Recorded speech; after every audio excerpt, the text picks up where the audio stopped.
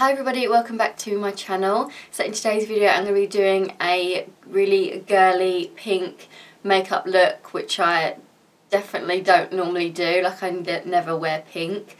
Um, but if you want to see how I created this look then please just keep on watching.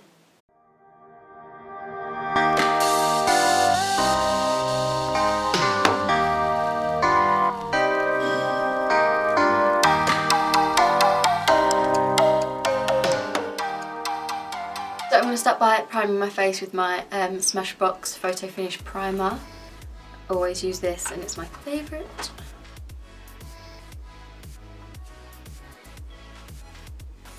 So for foundation I'm going to be mixing two together. The Tarte Amazonian Clay Foundation in the in the shade Fair Beige and also Charlotte Tilbury's Magic Foundation in the shade 7 Medium. Um, this is just to warm this up a little bit. So I'm just going to dot that all over.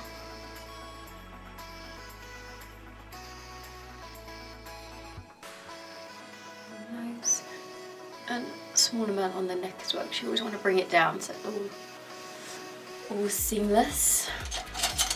And I'm just going to take my Morphe Y6 and I'm just going to do like circular motions because I like to get like a nice base down first and then go over with a little bit more if I need the coverage in places instead of putting like a lot on all over.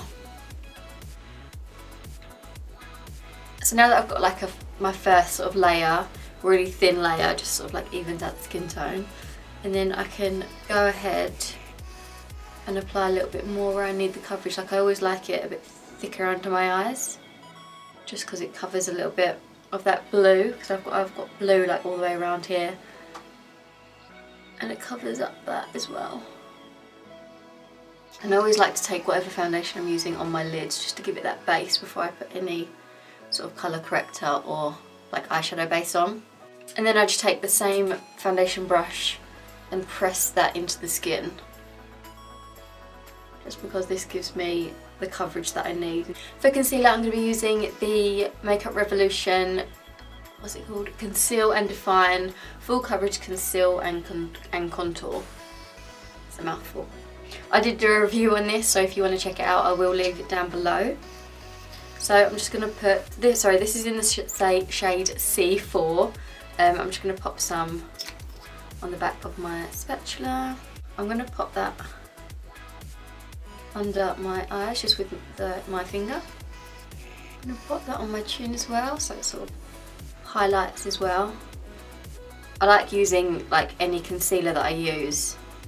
I like using it for highlight and contour. I'm just going to use my same uh, foundation brush that I've been using just to pat that in. This, I think this is, has to be like one of my favourite concealers now. Like it's so good. It's full coverage, but it's not like thick and heavy and cakey. Like I can't feel it on my skin, which is really, really nice. Because some full coverage foundations, they're thick, but you can really feel them and you, it feels like you've got a lot of makeup on. but When you put this on, you can't even feel it on your skin. To bronze up my skin a little bit more, I'm going to be using the um, Chanel Soleil Tan De Chanel Cream Bronzer. I love this for cream, um, as like a cream contour. So nice. So I'm just using my MAC 188 brush and I just like to swirl it into the product and then apply that on the cheek, on my cheekbones but like more, more bronzing than contour contouring. So I like to take that on like the apples of my cheeks and blend it upwards as well. It's just a really nice, natural, sun-kissed bronzer. Like it's really, I, I, always wear it in the summer. If I don't want to wear foundation but I need to give myself a little bit of colour, then I will use, I will always go for this and maybe put like a little bit of concealer if I need to. But this I always use, I always grab for it in the summer. Then I just still use the same brush for my nose contour but I sort of like pinch it a little bit so it goes really like sort of flat-ish. And I just take take whatever's left down the sides of my nose and I always bring that up into the brow as well. That's what makes it look more like a natural contour if you just like blend it right up into like the brow area.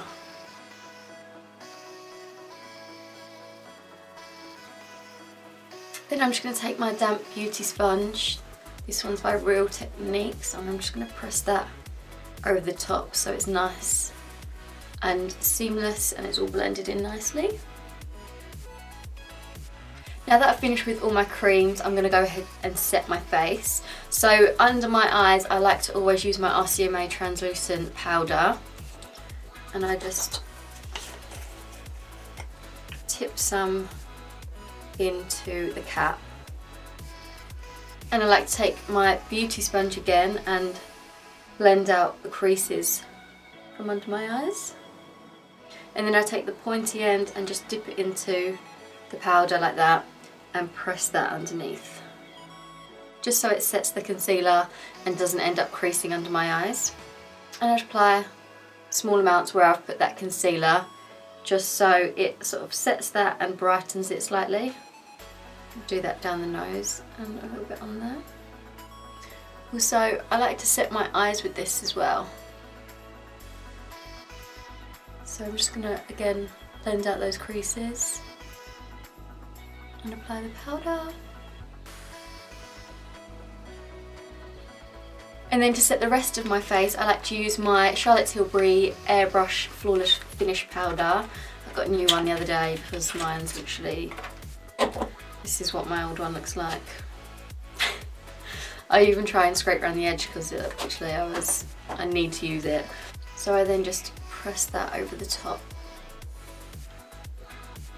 just to set my foundation.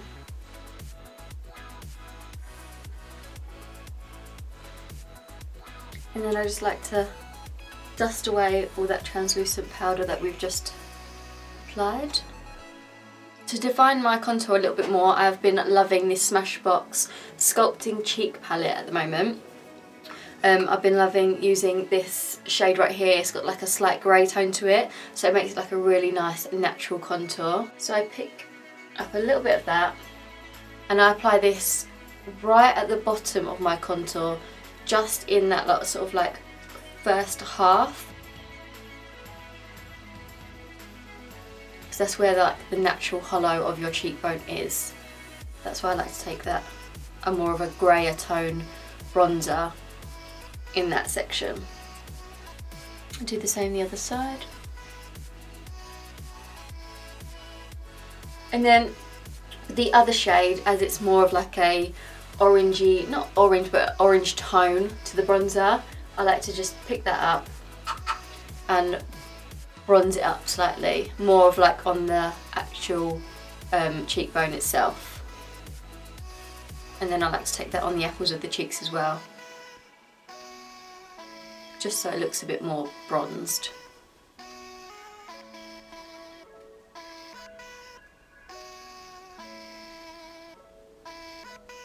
I also like to take a smaller brush and pick up a mixture of both to do my nose contour. So I always start with the top and work it into the like the first part of the brow. That's why I like to do my brows sort of like last just because I know I like to just work it right in there because it looks more natural and then I bring whatever's left down the sides. For blush, I'm going to be taking my MAC Fleur Power. I love this blush, it's one of my favourite colours. It suits pretty much any skin tone. And I like to apply this on the apples of my cheeks. And you have to make this face.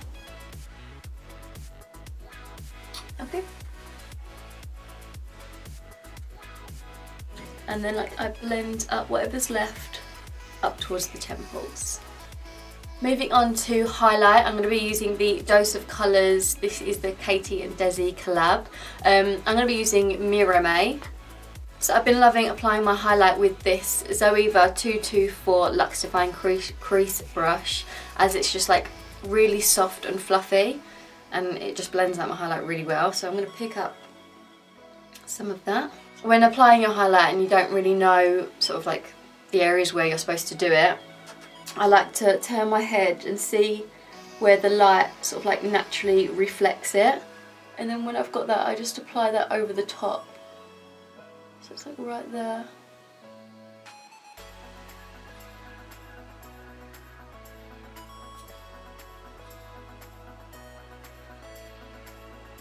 And I'm going to take that down the bridge of my nose just using the same brush. Always have to do the tip and my cupid's bow as well. I'm just going to grab a smaller precise flat brush and I'm going to pop that onto my um, brow bone just to give that a little bit more of a pop. Moving on to brows, I'm going to be using my uh, Precisely My Brow Pencil by Benefit. This is in the shade 2, I think, yeah 2. And all I do with my brushes is I comb it through first. And I literally just, just fill in all the sparse areas. Like I don't really change the shape of my brow because my brows are quite thick and full anyway. But I literally just like to make them a little bit darker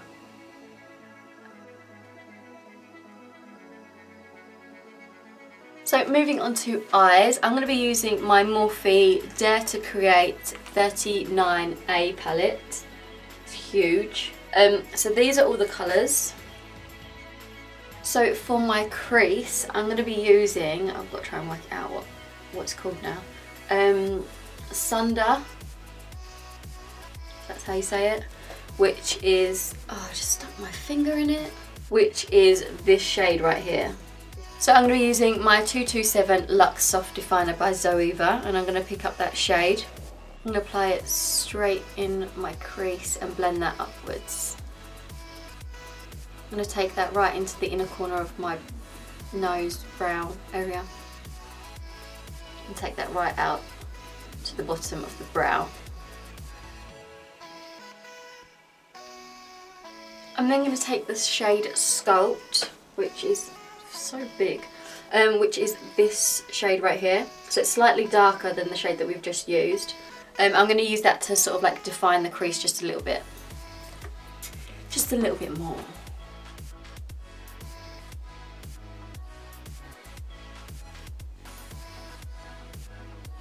For my lid, I'm actually going to go back to the blush that I use, which is MAC Fleur Power. And just using the same brush, I'm going to pick up some of that and I'm going to apply that to my whole lid. So I'm going to take that right up to that first shade that we applied. I'm also just going to take a pencil brush and pick up that Fleur Power blush shade and apply that underneath. I'm then going to pick up the shade Create, which is this really bright fuchsia pink shadow.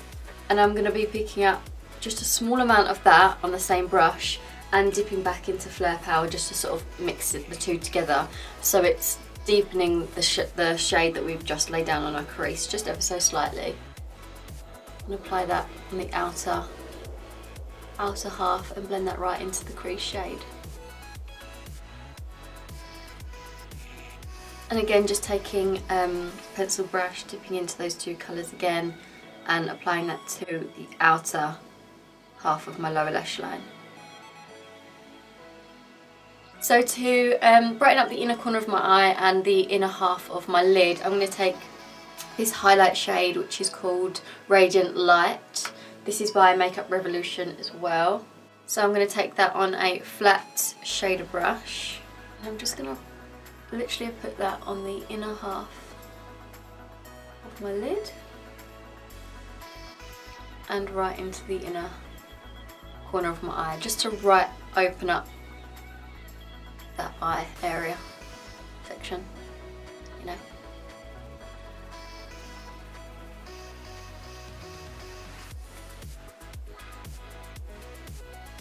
For lashes, I'm going to be applying the Eylure 117 Wispies. They're my favourite ones from Eylure.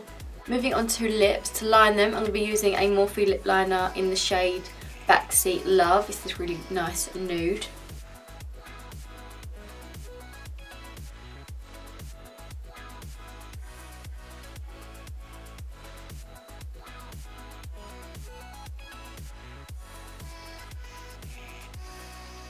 I'm then going to take this Morphe liquid lip in the shade Sweets and I'm just going to apply that in the centre and then tap it out with my finger just to blend it.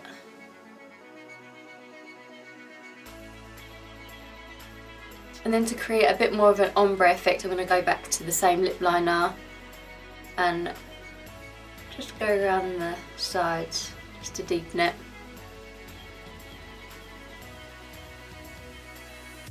So this is the finished result. I all hope you enjoyed this pinky smoky eye makeup tutorial. Make sure to give it a big thumbs up if you did and please don't forget to subscribe. Also don't forget to follow me on my Instagram and I'll leave it linked down below.